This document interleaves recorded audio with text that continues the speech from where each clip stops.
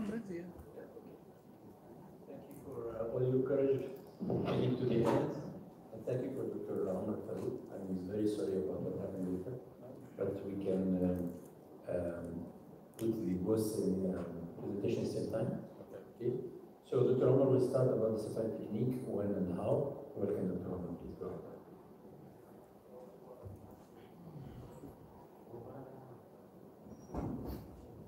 Thank you very much for the kind invitation, uh, Professor Khalid, and thank you very much for a great program.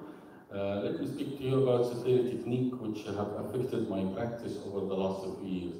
Well, uh, what is uh, Safari? It means subintimal arterial flossing with antegrade retrograde intervention. This is the abbreviation of Safari. Uh, it was uh, first uh, described by David Spinosa, and this is the paper that has been published with his work in 1990, so it's quite a, quite a long procedure. Well, there are, if you're doing peripheral intervention, there are things that uh, need to be defined, like Safari cart and reverse cart technique. Well, Safari technique, uh, basically you go with the wire between antegrade and retrograde, and you try to have a rendezvous over these two lumen. Uh, cart technique is a technique used by cardiology for retrograde inflation of a balloon to open the track and then you go antegrade. Reverse cart is quite reverse. You do the balloon from above and then you do retrograde. Well, this is the um, uh, how you, you have a you have a CTO. First, you try to pass the wire, and you can use micro channel if you have a tip of 0.008 uh, just to hit the total occlusion. And this is the antegrade approach. The parallel wire approach a appealing your wire go to subintimal, leave it and take another wire. You can even have a third wire to block two subintimal techniques. Now, the uh, star technique, uh, you can use a balloon to open or crack the occlusion and then you pass your wire. And this is sub-intimal cracking. The cart technique, as I described, you go with the balloon from retrograde to open the channel, and this is the cart technique which we have adopted from the cardiologist. Reverse cart technique, so just the balloon goes from above and you go from retrograde approach. This is a knuckle wire approach, is a nice idea. You make a knuckle into your wire, and then you try to hit this knuckle with two views of your peripheral intervention. Uh, this is the uh, technique of the technique, if you can uh, play in this video. Um, this is a video to explain the uh, Safari principle. Probably wouldn't work, I will, it's all right. So this slide actually took me six months uh, to do. This is, I, there are three videos that will play simultaneously. This is how I do uh, retrograde uh, recanalization through the three tibial artery, the AT, zone 3, the PT, zone 3, and the peroneal zone 3. Each one have its special technique, and uh, you can use both radiological imaging or duplex guided techniques. Um, and it's become now quite a standard technique to do the retrograde approach because this is an essential part of uh, doing Safari. So these are the three techniques. Um, I prefer the ultrasound, uh, ultrasound guided, uh, where you can do it by duplex scan. You can see the two vena comitant, and you go straight away. And ultrasound technique actually will develop. It will have a GB, GS, guiding needle, which can actually guide you uh, through the needle, which make things are very simple. So the one on the right side, you can see uh, what is called needle tracking software, which is now found in Philips and multiple software, which make really puncture to be quite an easy maneuver to do. But you can still use imaging if you don't have duplex in your angio suite. Um, this is a case uh, of Safari technique, which uh, there was, I went to antegrade, this is diabetic patient, hypertensive with total severe occlusion, that you can see the upper part of it. Uh, Can the video play? Uh, don't want to press anything. So um, with this video, I went into antegrade, the wire didn't go, and then I went retrograde, posterior tibial, I went up. Um, I, I hope it worked, this video. We didn't check it twice. It's playing, okay. So uh, uh, I, I went through the wire antegrade, didn't go, which is not uncommon, it's 40%. I've tried to summarize the whole intervention into just one video, which is the one on the right side. This is, you can see the runoff, you inject the IC. Where is the runoff, which is the lower zone 3, SFA. You can puncture zone 3 SFA. I did give a little bit of local anesthesia. And then after that, I went with retrograde to the SFA. And you can see uh, this is a distal runoff to make sure, because at the end of the procedure, you want to know that you haven't embolized. This is, I'm injecting xylocaine around the SFA to ease up the pain with just a syringe needle around the SFA. You can see the calcification in the SFA. And after that, uh, I went with the needle, uh, retrograde and the wire. You can see the needle um, went through the arteries by the calcification, and then you pass the wire retrograde and you try to make rendezvous. Uh, usually you go with a catheter, uh, five or six French catheter, best to have a, a curved catheter, and you try to direct the curved catheter towards the wall. Uh, this was a perforation that happened when I went antegrade. So perforation is not a contraindication to complete the procedure. You can see this is a retrograde wire uh, going uh, from the uh, from the anterior tibial artery, going upward, and uh, here is the wire. You try to see navigate your wire, and you must have uh, double imaging. You have, must have an AP and lateral view.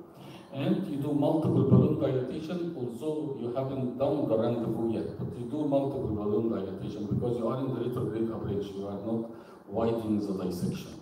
And after that, you hit uh, the, this is antegrade, retrograde flossing. And then you do the rendezvous, you can see the trick about the rendezvous that you make the angle catheter look at the wall. And then you make the wire to hit the wall. And then it will redirect again into the catheter. And this is what happened. And then after that, straightforward balloon dilatation. And the perforation has stopped. And uh, I use, I think in this case, um, uh, one of the Supera stent. And this is the imaging after finishing procedure. So this is basically a collection of the uh, safari techniques that I have used.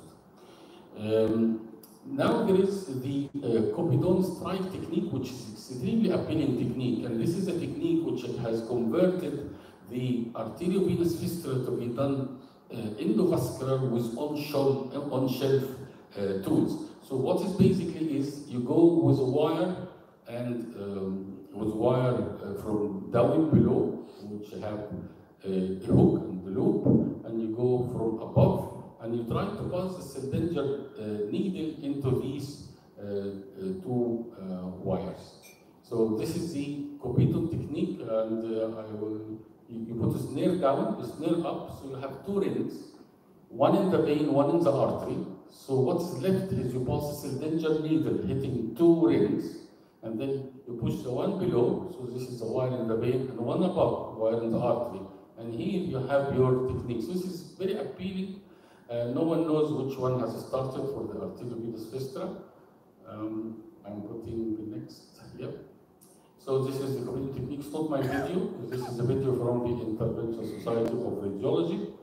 And uh, it will work, yes. You can see one snare, pull the wire uh, above, and one snare, pull it below, and this is how it's being done.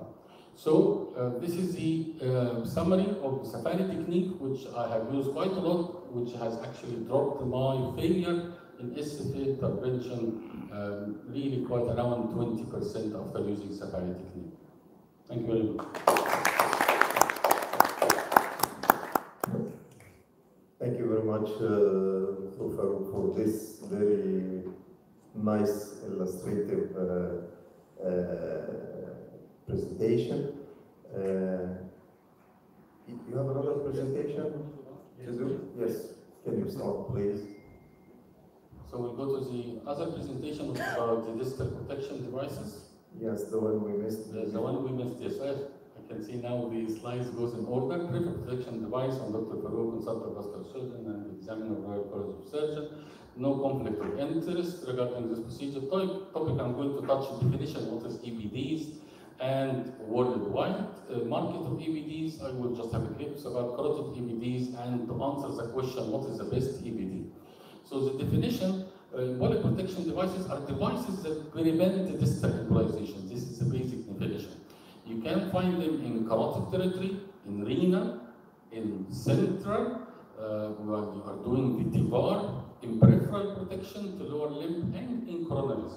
So I will try to cover everything not related to coronaries.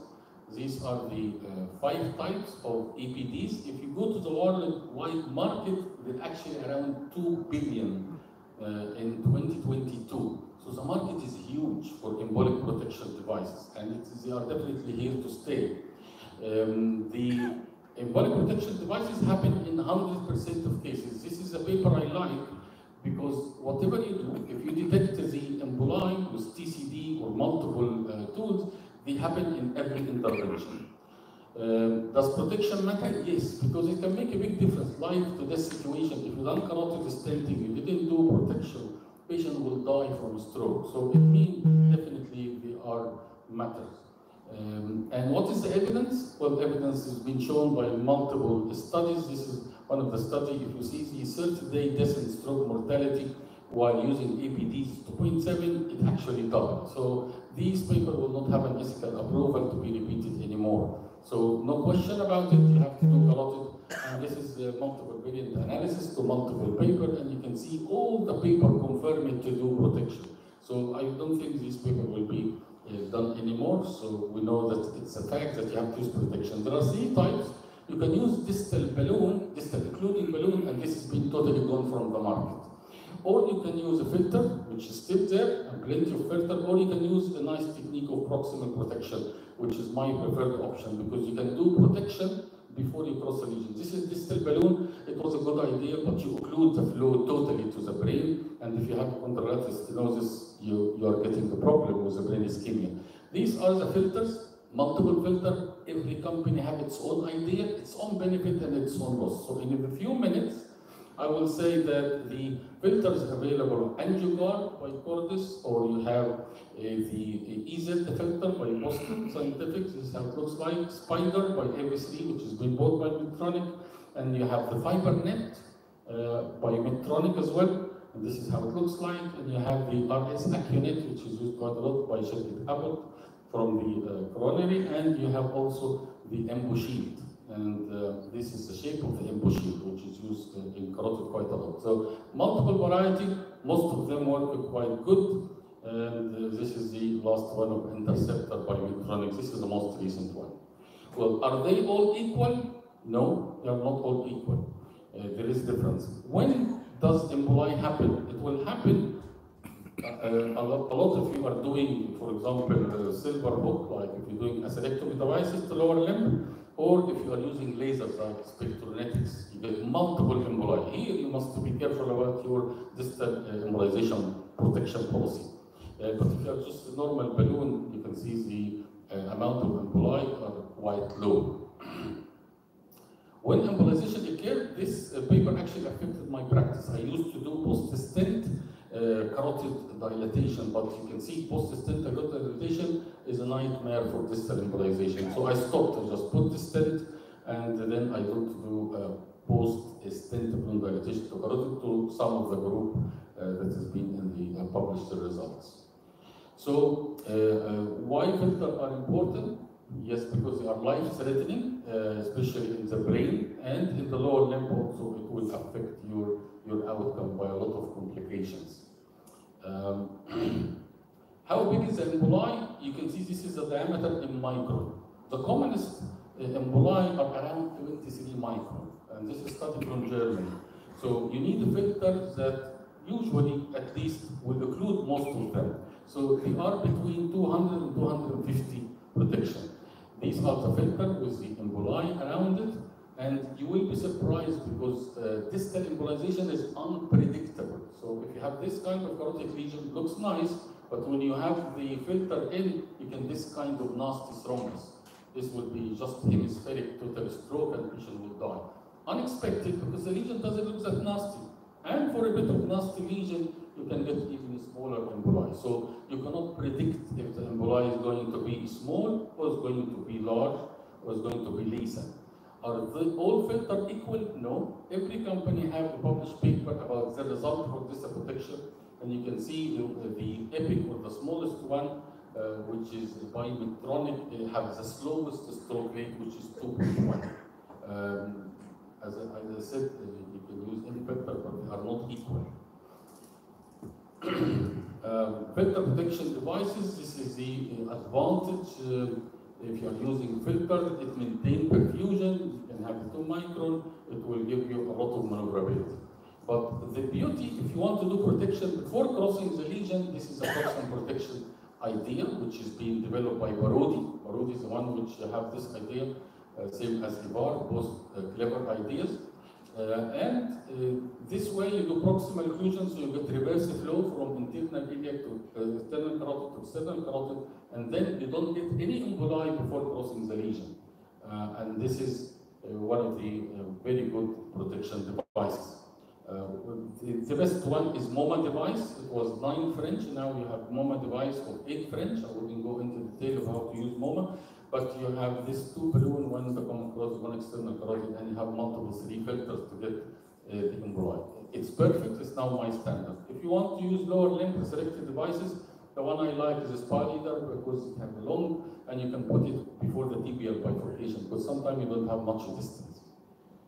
So I've got 25 seconds left. This is the uh, follow-up. You can see if you use filter, yes, definitely it is better. This is a complication. Sometimes you get the filter stuck into the internal carotid and you can't pull it up. Very nasty situation. So definitely they are not without complication. They have complication. But the proximal, uh, proximal protection devices, I said, is, is a, an option which is really appealing because you have protection before crossing the region. And to answer the question, what is the APD in my mind? Well, each region have its own scheme for what is superior, what. So it's not the same if you're doing TEVAR, not the same for limb, not the same for carotid. This is number one. Number two, each EPD have its own advantage and disadvantage. None of them have ideal thing. And proximal protection devices is, to me, is my preferred protection device for carotid because you have protection before you cross the lesion. Filter area is good because they are between 200 and 250 microns, and the field is always developing, always changing. Every month you have something new. I was having very high hopes for FiberNet, and when I used FiberNet, it didn't work. And APDs are definitely here to stay. And uh, sorry for the previous uh, disruption of the slides, and uh, thank you very much for your time. Thank you very much, uh. Omar, and uh, we'll keep the questions for the end of the session. Uh, I'm not sure that uh, uh, Dr. Lichtenberg is still here because I guess he left. So uh, I have the honor to introduce my co-chairman, Dr. Khaled Ahmad. Dr. Khaled is a French vascular surgeon